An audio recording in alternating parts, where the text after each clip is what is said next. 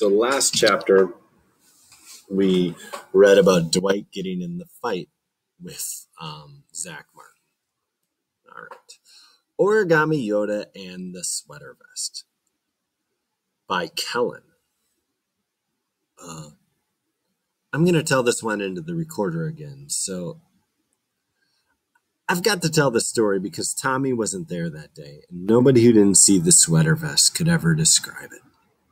Now, normally, I would never complain about what someone else wears because all I wear are shirts from my $4 t shirt collection, and some of them are pretty stupid, which is why they only cost $4. But I think they're cool.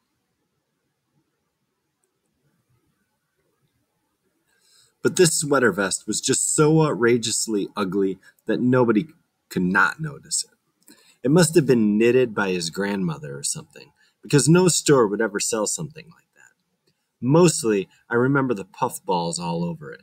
It was barf green and with a black stripe. But the puff balls were pink. Massive buttons and a big letter D on the front. On the back was an orange reindeer. Can you picture it? This is a perfect example as a reader of needing to picture description. So it was barf green with the black stripe.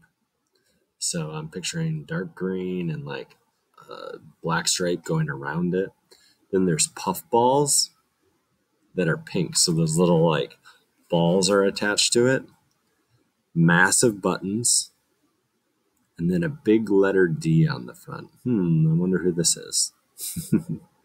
oh, and an orange reindeer. Oh my God. There's only one kid in the whole school that would ever in a million years come to school wearing that sweater vest. And of course, that kid is Dwight. And when one kid does something stupid, there's got to be somebody to make a huge production out of it. And of course, that kid is Harvey. Man, what on earth are you wearing? Harvey said way too loud in the library. Clothes, said Dwight.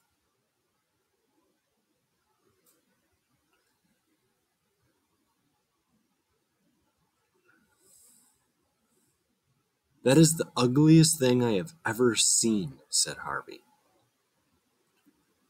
So what? said Dwight. Should I take it off because you don't like it? Please do, said Harvey. It's making me barf. Seriously, man, I said, this is Kellen now. You really should take it off. I was just trying to help. Maybe I was sort of laughing a tiny bit when I said it. But Dwight stomped off to another table. Harvey never thinks he needs to apologize for anything, but I felt bad enough to go after Dwight. Hey, I'm sorry, dude, I said, trying to smooth things over. But you know, that sweater does look a little first gradey. Did your mom make you wear it? Shh! Shut up, said Dwight. And he froze and looked straight ahead. Caroline Broom, the broken pencil girl, was walking into the library. Dwight waved at her. Dwight has never waved at anybody before, except maybe imaginary squirrels or something. And she waved back. Holy Wampa hair. So you do like her, I said. Dwight didn't say anything. And did you wear that sweater vest for her? Dwight's ears turned red. Oh man, Dwight, have you lost your mind? Listen, why don't you ask Origami Yoda about this stuff first? No, thank you, said Dwight. Could you just shut up? Let me ask him, I said. Origami Yoda, should Dwight. Why don't you just shut up? said Dwight. And he jumped up to grab and grabbed his books, but dropped them in a bunch of pencils. I picked up one of the pencils. It said Caroline Broom on it and had a little smiley face. I think they all said that. He must have bought them to replace the broken ones. Dwight ripped them out of my hands. Give me that jerk! He yelled. There's two kinds of yelling you do at school. There's the kind that's a yell, but not all that loud because you really don't want to look silly or get a bunch of teachers in your face. Then there's another yell where you're so mad and you don't care about any of that stuff anymore. When Dwight yelled, jerk, it was the second kind of yell. And everybody in the library looked up, and Mrs. Calhoun, the librarian, started coming our way. Dwight was looking to see if Caroline was looking. And of course she was, because everyone was. Great! Now you've ruined everything, said Dwight. He stomped out of the library before the librarian got there. So I ended up having to listen to her lecture about how kids seem to think the library is some kind of playground. Then Harvey came over and started making fun of Dwight's sweater vest some more. But I wasn't interested.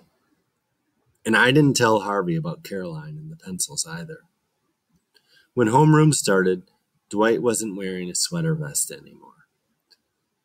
I passed him a note saying I was really sorry. And he ended up eating lunch with us later, and things were sort of back to normal. Harvey's comment. Don't make me out to be a bad guy because I told him his sweater was ugly. I did him a favor. My comment. I'm just glad I wasn't there. So for today's response, you can choose. I give you two responses to choose from. So the first one is why did Dwight pick a fart fight? Oh, fart. he did not do that. Chapter 13. So why did Dwight pick a fight with Zach Martin? Okay, so I think now we probably know why he did that. Um, if that's the response you choose, here is the frame you can use. I think Dwight picked the fight with Zach because blank. My proof is that blank. This shows blank. And I really want you to make sure you're writing like this. You're using evidence, complete sentences. Some of your responses have been incomplete. The second one you can choose is or pick one word to describe Harvey. Give examples to prove it. So Harvey keeps having small parts in these chapters. And I feel like there's probably pretty clear, strong traits that describe him. So if you decide to do the Harvey one, here is how you could do it. I think Harvey is blank. For example, blank. Another example is blank. Also, so whichever one you choose, use the prompt to write. And today you're in class. So once you're done writing your um, response here, you start independent reading, whether that's on Epic or your physical book. Okay? I am with a group, as you can see. And it's very important that you do this read aloud and then transition smoothly into independent reading. All right. Thank you.